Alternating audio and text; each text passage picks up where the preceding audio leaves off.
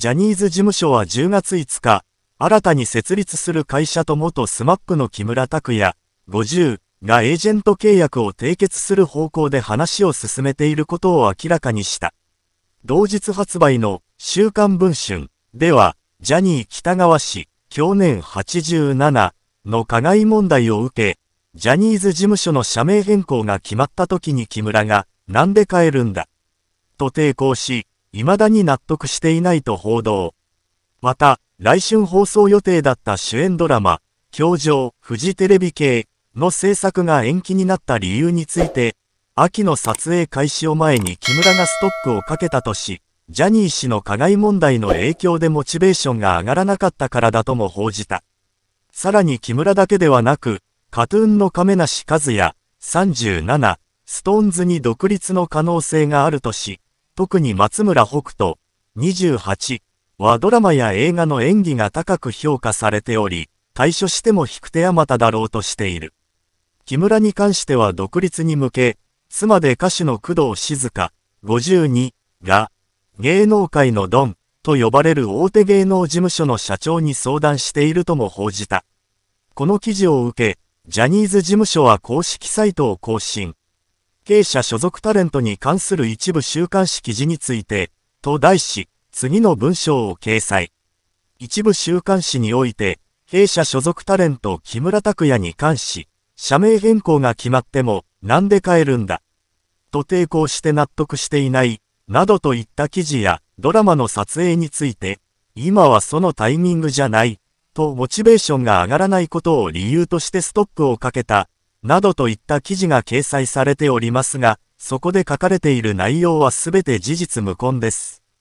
その上で、一連の報道の通り、所属先である弊社が深刻な問題を抱えている状況下にありながら、木村は後輩たちの相談にも積極的に応じ、また、被害を受けた方々の心情に配慮して率先して社名変更を弊社に促すと、常に被害を受けた方々や不安なタレントアーティストたちの心に寄り添っておりました。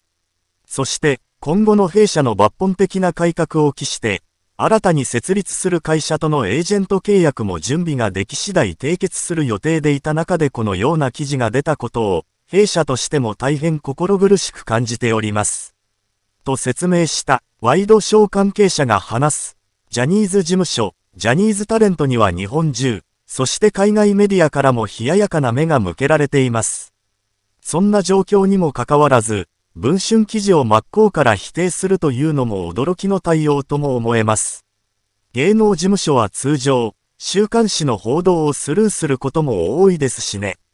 ただ、東山紀之さん、57、代わって長男閣に繰り上がった木村さんが独立するとなったら後輩タレントも大きく動揺するでしょうし、彼に続くタレントも続出しかねない。また、社名変更に納得がいっていないというところも、事実でないとしたら木村さんのイメージ回復のためにも否定しておきたいところですよね。そういった事情もあり、特別扱いとも言える異例の反論文を出したのではないでしょうか。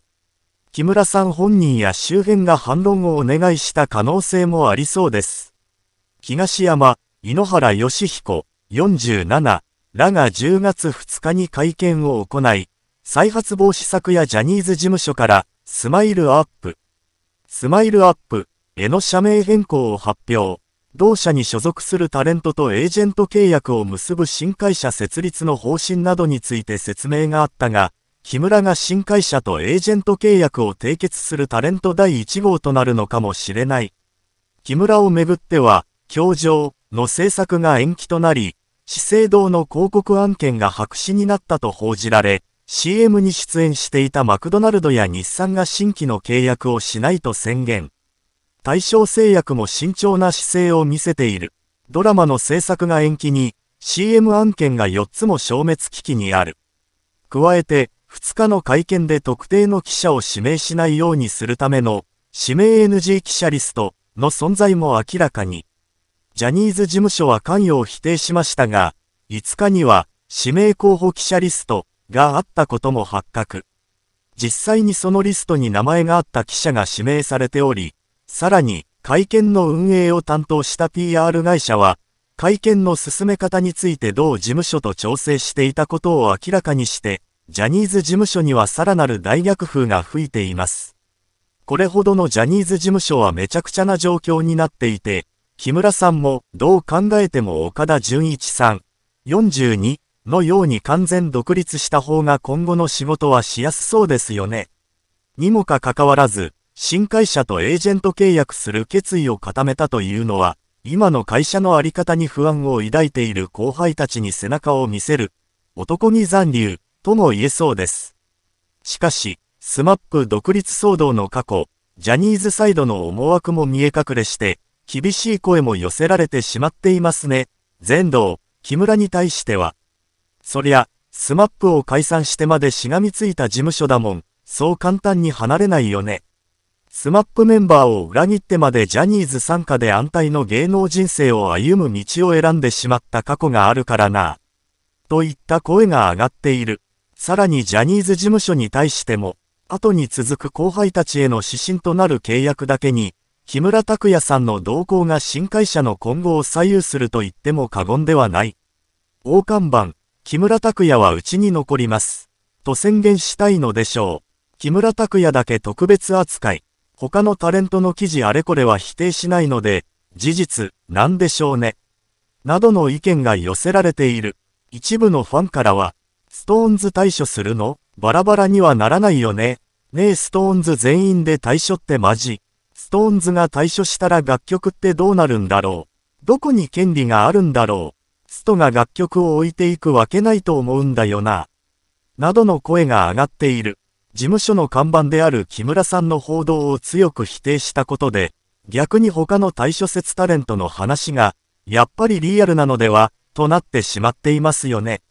会見での指名 NG 記者リストの件もあり、ジャニーズは著しく信用を落としてしまっています。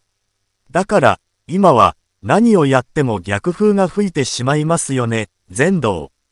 木村は新会社とエージェント契約を締結する方向で話を進めているというが、亀梨、ストーンズはどのような決断を下すのだろうか。